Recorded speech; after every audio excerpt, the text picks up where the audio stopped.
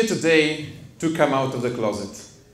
I could almost pass for a normal dude with my white shirt, neat hipsterish beard, my Italian way of talking with my hands. But there is a love that burns in my chest. A love that no man in his 30s would ever confess lightly. Okay, ready? Wait, I'm gonna need a chair for this.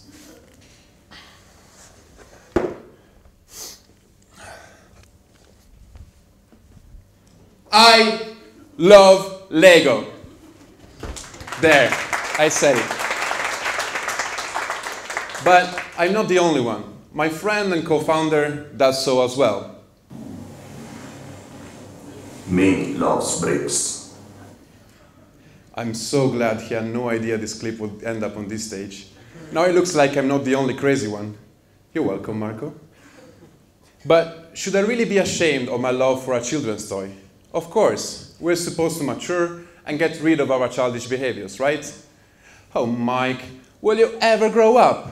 Who hasn't been told this by her spouse, parent, or teacher each time she does something silly or wears something eccentric? And just like that, our spontaneity, our sense of wonder, our spark of creativity go out of the window, brick by brick. I remember one time in my childhood, I was with my grandma. Nonna, nonna. That's grandma in Italian. How do you say here? Bunica, right? Okay. Nonna, I know. I know what I'll do when I grow up. Of course, now as grown adults, we know in our wisdom that kids want to be a million different things when they grow up. I wonder how many astronauts, archaeologists, Thank you, Indiana Jones. And pilots we have in this room. Yet, before we grow out of our imagination, anything is possible and will definitely happen. So, to me, that was a heartfelt moment of revelation. I was a kid and I just realized what my future would look like. Really important, right? Tell me, dear grandson, what will you do? She was already smiling, anticipating another childish dream. I will be an inventor, I stated solemnly. and what will you invent, kid? Now she was really amused. I'll invent the catapult. but they've already invented the catapult. Now she was openly laughing. So I'll invent it again. I exited the room, my dreams intact. And here I am. Right before turning 30, I've become an inventor. As predicted, I invented something that had already been invented, a pair of sunglasses. Guys, we all know it. Clothes and accessories express our personality and are a part of us. During a typical day, we change the way we look and behave according to the social context. So, why not making the most important accessory, the one closest to the eyes, match your current mood? With mood, you can be fashionable in the morning and unapologetically eccentric in the evening, with the same piece of eyewear. We created Mood after months of research and development. Me loves bricks. The Mood you're seeing in these photos is the current 3D printed prototype. We have developed a kick-ass final version with premium materials and improved ergonomics we partnered up with an Italian glassware factory which is ready to go into production. And now Mood needs your help. Reorder your Mood today, spread the Mood among your friends and rediscover your inner child. Well, let's see. With Mood, you will also get a set of our special bricks. Join the community, suggest your custom bricks, and unleash your creativity. Startups are for kids who never grow old. I'm here today to tell you about my journey, hoping it can inspire you to be that kid who exits room after room full of grandmas. And he keeps working towards his dream, intact. Great image, right? Very inspiring. The problem with this image is that it is perfect and boosts our motivation right just before you start. As soon as you start up, it started up. This is what your dreams look like. Maybe this.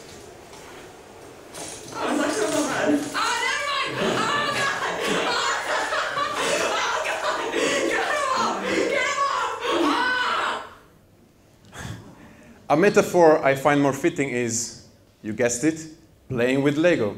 As kids, Lego taught us to be dreamers, we imagined creatures and constructions that never existed before. We dreamt of amazing, enormous dragons who flew free high in the sky. Our racing minds painted impossible landscapes, populated with high towers. But it also taught us to be grounded with the laws of physics. A dragon needs to be built with actual pieces. A construction needs to stand up against gravity. Sometimes towers fall apart, but there is no fail in a Lego construction. You build, you adapt your construction to what is actually possible, you learn from the feedback of the environment, you improve your plan. Sounds familiar yet? Yep, just like your next startup. You build something and then you add to it, brick by brick. Build, adapt, learn. Build, adapt, learn. Build, measure, learn.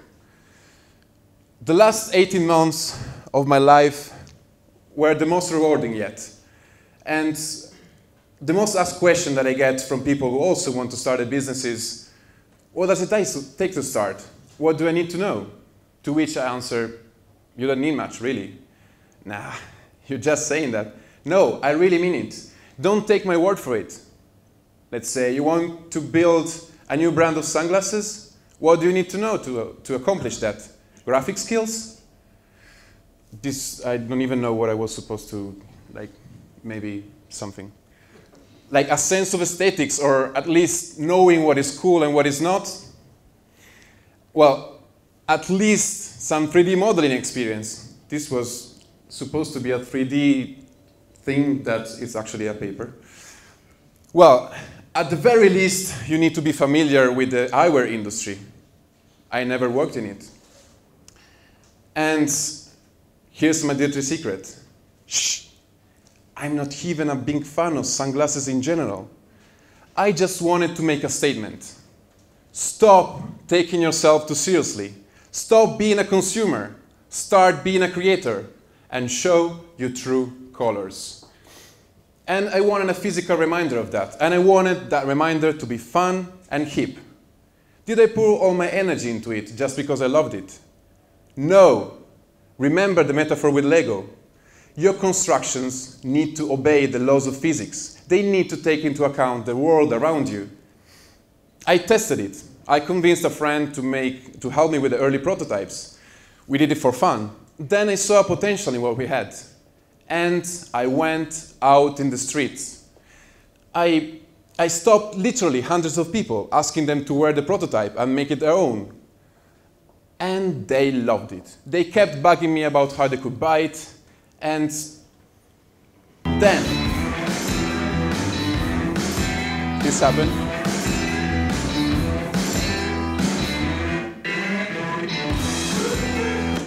So then, and only then, I, I, saw that it was something. And then I, the team grew, and the, um, the team grew, and like the, the sunglasses spread all around the world. But remember, Lego, the Lego floor is lava. So, what did my Lego floor is lava challenge look like? And this I truly never confess publicly. My girlfriend knows it, but even my parents don't. Well, in the process of giving all myself to my startup, I ended up completely broke. How broke? No heat and no electricity in my home broke. This happened last December. It was below zero outside. I stayed at a friend's house for a while, but then he couldn't host me anymore, and I went back to my home, cold. I didn't really want to ask for help. I felt ashamed and I thought that I needed to deal with it myself. Thankfully, I could resort to my personal activity of consulting that brought me back on my feet in a couple months. And, well, was this, was this avoidable? Certainly yes. Better planning, better use of my time, etc., etc. But especially And this is a lesson worth posing, a reminding. I fell prey to perfectionism. I could have sold the sunglasses as we had them, right there, 3D printed. People wanted them like that already. And that would have financed the cost of starting the, the early production early on. Uh, and we, we would have them at that point. You mean, we're fond of our ideas. They're like our children. And when they're about to leave the warmth of our homes and go out in the world by themselves, we turn into overprotective parents. Wait, no, kid, you're not ready yet. Like, please let me try to fix this and that and this and so on. This is so entrenched in our nature that you can have a million different people telling you this lesson, and you will still risk committing the same mistake. Let go of your kid. So what if she's not ready for all the hardships out there? It's not by keeping her safe that you'll make her stronger. Apply to startups? Sell your product or service from the beginning. Do it. So, even, even with the many mistakes that led me to my cold December, uh, Lego floor is lava cold December, was it worth it? Certainly yes, of course. I wouldn't change the last 18 months of my life for anything else in the world. 18 months ago, I had no clue about the eyewear industry. And now I'm debating the nuances of materials and shapes that will make the next version of my product shine. I also had no idea how rapid prototyping and 3D printing works. And since then, I work with many makers, even going to a large 3D printing factory in New York. Graphics, I still suck at it. But I learned to do what I'm good at and delegate all the rest. Startups come and go, but the skills you learn, the people you meet, the confidence you gain, they never leave you. And they make your life all the richer. Don't freeze yourself by looking at other people's big achievements and comparing your small self to them. And also, don't do it for the glory, because the everyday reality of your startup is unglamorous. You either love putting together its pieces, or you'll never witness it growing and stand on its own. Your job is to build it, brick by brick, starting now. Thank you.